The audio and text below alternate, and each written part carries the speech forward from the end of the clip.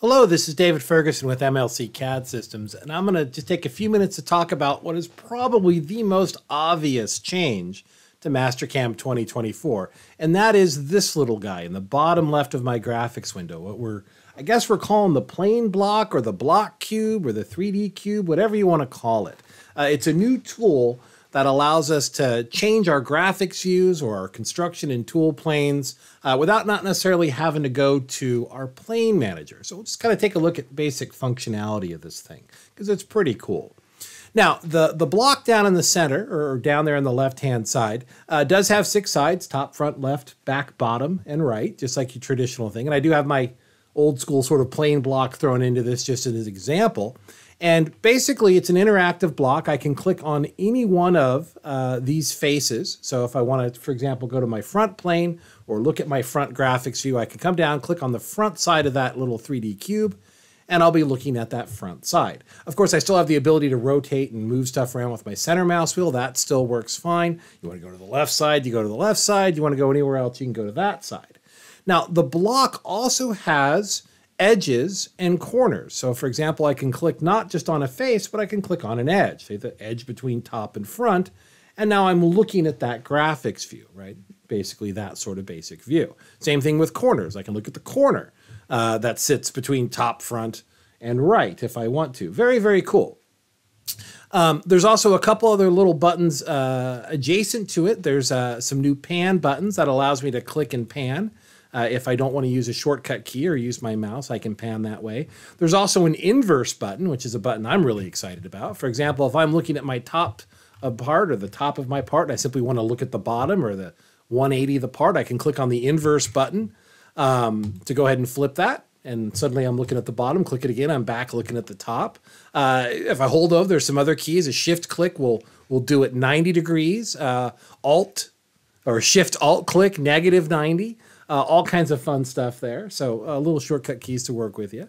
Uh, the other thing the block allows you to do is if I if I do left click and hold on the block, so I'm going to left click, just move my cursor on. Uh, that does put me into a sort of an automatic dynamic rotational mode.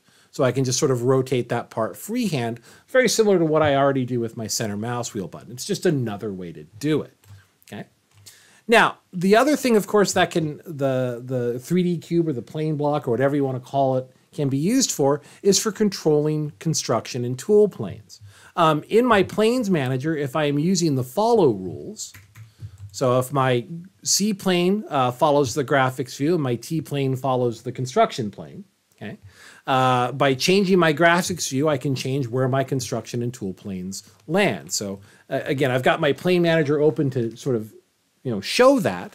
Uh, but obviously, I don't need that, you know, uh, front and center while I'm doing this. So, for example, I'm just going to click on the right face of this cube, and because the follow rules are engaged, my construction and tool plane move to that right plane. Uh, if I don't want that to happen, if I if I don't want clicking on this cube to change my construction and tool plane, you can simply turn off your follow rules by unchecking pretty much most of the boxes in that little group, that little pull down. And those are one of those things that once you check or uncheck, they just kind of stay that way till you change them. So if I uncheck them, they'll just stay unchecked pretty much until I decide to use them again. Um, with those unchecked, clicking on the block, for example, going to the front uh, graphics view, uh, no longer changes where my C and T planes are set. Um, so it does give you a lot, a little bit of extra flexibility of where you want to control your graphics view. Uh, again, you can still use your center mouse wheel. You can still use your uh, 3D mouse if you want to. This just allows me to very quickly on my screen sort of adjust what I'm looking at. Now, that's all really cool. But the thing that I'm most excited about this, and something I've wanted to see in Mastercam for a long time, is in older releases of the software, that gnomon in my bottom left corner was pretty much always parked on my default top plane, what, what we tend to call world. Well, now in 2024, that gnomon updates to reflect whatever your WCS is. So for example, if I move my work coordinate system to the right side plane, I'll just move my WCS C and T, you notice I am now looking at this cube in that orientation, as well as looking at the gnomon in that orientation. So if my WCS is on the right plane and I click on top, just like a right click in my graphics window and context, you know, top traditionally takes you to where your WCS is, the plane block does the same thing.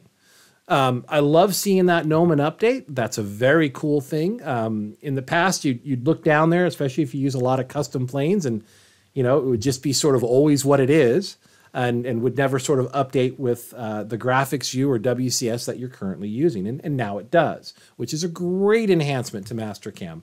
Um, so very excited about this. So thank you very much.